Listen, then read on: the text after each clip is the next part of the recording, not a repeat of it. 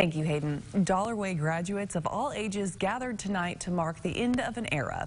This week, Dollarway will officially become a part of the Pine Bluff School District.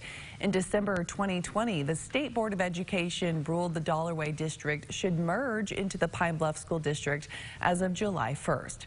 Dollarway schools first started educating students in 1914.